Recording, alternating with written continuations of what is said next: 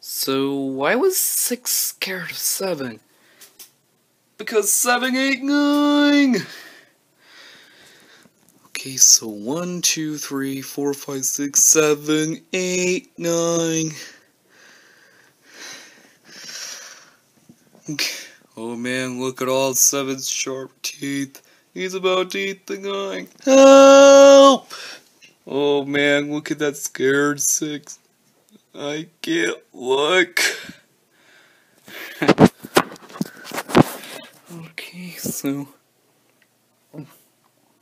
Poor nine. What are we going to do without that number?